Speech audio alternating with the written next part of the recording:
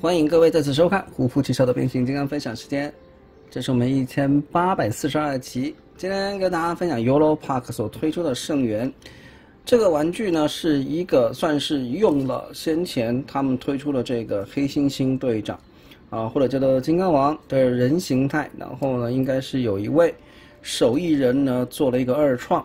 那如今呢，他得到了官方的授权，所以它变成了一个正版的作品了啊。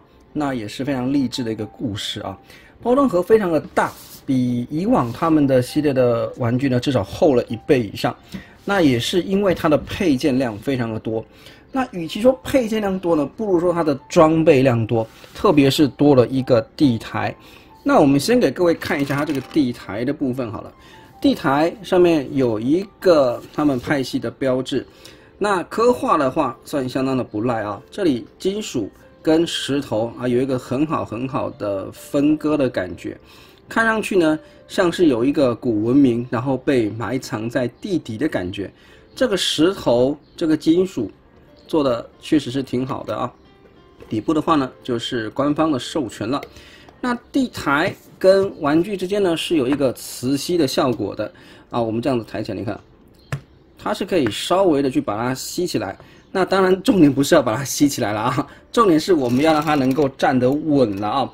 那实际上的话，它的吸力呢，呃，有是有，但不到说非常非常的强劲。你稍微的话呢，去用力推它还是会倒的，但是绝对比没有好，而且已经相当有意思了。那这个的话呢，如果你给它的其他的玩具是没有吸力的啊，所以它是只有单独的否这一款圣元才能够做得到。那现在的话呢，我们就来看一下。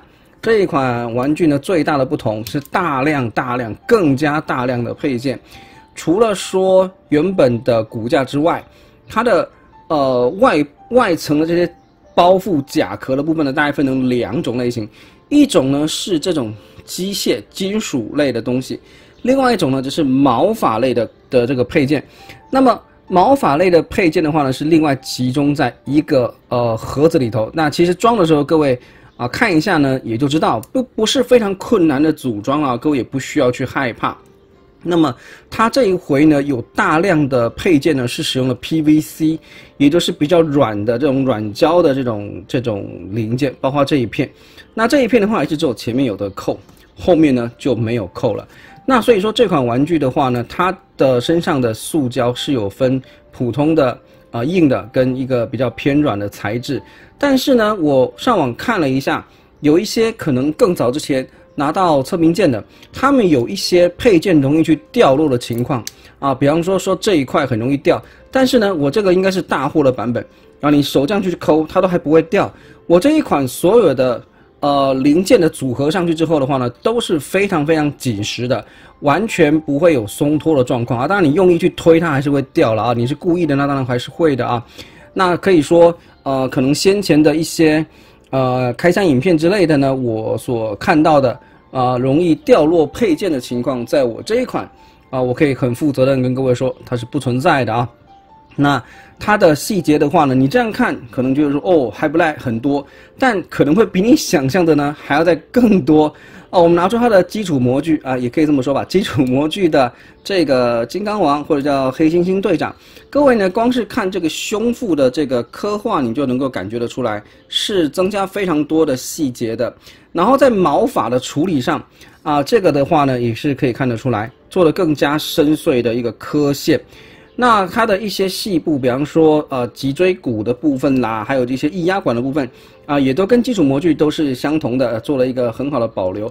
只是在外甲壳的部分呢，做了更多的细节刻画。比方说这一块啊，这块部件啊，跟这里你会发现有差别。那么它还有一些呢，这个你看它有一些特殊的，像是一个七彩霓虹的这种光。这个感觉像是被高温灼热过的感觉，而且配合这个地方好像被烧开的一个感觉啊！这个感感觉上，这这个家伙就是历经了非常多的战斗，一个饱经沧桑的感觉。那么它有一个肩炮，肩炮是扣在这里啊，稍微扭一下就能够拿下来。肩炮呢，呃，多多少少啦会干涉到你的这个呃手臂的转动啊。手臂的话呢，讲到手臂，它的肩部，你可以看它其实是两个不对称的一个造型啊。其实这样一来感觉更帅，甚至它的胸甲其实两侧造型也不一样。你看这里有一个圆圆圈的造型，这一边就没有。那这一片部件的后面这里延伸一块过来很大，这个呢会稍微去干涉到它手臂的转动。你要转的话呢也是可以，但是就要做一个相当程度的避让。这一手的话呢就转起来比较比较简单一点。顺此一提，它的这个轴的这个关节呢非常的紧啊，我还要上一点细油，它能够比较好的正常的转动。然后这个二头肌的转动这里的话呢，由于它的这个手臂啊这这一块。大臂太粗了啊，所以你转的时候呢，它有一些角度上会去受限。各位大家自己自己转的时候稍微留意一下。那手肘的话呢，可以弯到九十度。这块臂甲的话呢，它是一个双动的关节，里面再配合一个球关。这个刀刃呢，并没有伸出来跟收进去的设计，没有，它就直接扣在后面啊。我们可以看一下。这个刀的金属感做的还是非常的不赖的。替换的手型呢，有这个摊开的爪型，还有握拳。另外只是手持武器的空洞，但是呢，这款玩具呢却没有附武器给我们啊，所以这个空洞手我觉得是有点无无无用武之地了。另外是只有单单的左手有一个指头向前指的一个一个拳头的一个替换手型。然后呢，腰身也是可以转动的，啊腰身前后可以转，但是造型的关系呢，它其实，呃，转的时候稍微留意一下，因为你一个不小心转太用力的话，你可能会把后面这个屁股这个零件给挤掉啊。然后呢，它的脚一样呢，有一个现在非常流行的啊，这里有一个延伸的关节啊，一样可以转下来往前踢。那么在把玩的时候呢，这个裆部这块零件可能是最容易去喷溅的了啊。倒也不是说它松，而是因为它这个，你看这样推的时候。一个不小心，我们就会把这一块零件给挤出来啊！这个到这个就是真的是设计上的一个一个小问题了啊。然后裙甲的话呢，这一片单独前后左右可以动啊，前后不能动。但是呢，你可以看到，由于也是一样，它的大腿做的太粗了啊，导致于说这个部件的话呢，你如果不用软胶部件的话呢，它可能根本就没有办法正常的维持在这边。那也由于它的造型过厚，它这个地方呢，你要把它锁紧的话呢，是有一点困难的。你比较容易说去，因为转动腿这个部件去脱落出来啊，这个也是实际上在把玩的时候比较去发生的。但是话说回来了，如果你不是很用力去把玩，或者是你稍微留意一下压住它，其实也问题不大啊。然后呢，膝盖也是有一个标准的可动，脚踝的可动呢，比你想象中可能要来的小小一点啊，应该说小很多啊。脚趾头的话呢，这个跟原本的模具的话呢，就是比较没有没有太大的差别，只是配色上稍微有一点哑光的感觉了啊。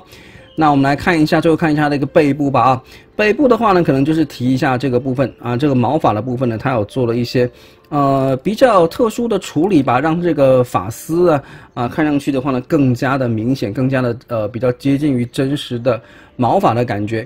那么总体来说的话啊啊，是一款造型非常非常帅气的玩具。这个假发可以拿掉，轻松一掰啊就拿掉。拿掉之后的话呢，它的头部的。呃，可动性的话呢，才会恢复它应该有的，一呃原本模模具该有的一个可动性。你这个假发呢，假发，一个假发一旦戴上去啊，它这个后面这里造型限制的关系，它基本上头已经没有什么可以左右转的一个空间了，啊几乎是没有。那我们的话呢，啊，也对比一下在电影里头呢，把它杀死的这一个天灾，两个人物的身高其实还是天灾稍微高一点啊。如果你要把它。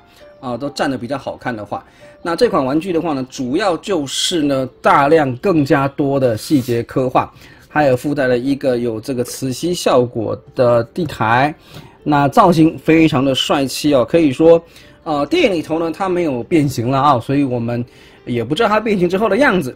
但是呢，我以前就提过，变形金刚的玩具呢，它可以协助我们。去了解电影里面我们可能看不清楚的一些细节，尽管还原度可能没有完全一样，但是这一款呢，既然有官方的授权，应该在某些程度上它是得到官方认可的，认为说，嗯，你这个啊可以可以担任我们的官方的一个设计的手稿的一个造型，好吧？那今天就给各位分享到这边，非常谢谢各位收看，我们下期再见，拜拜。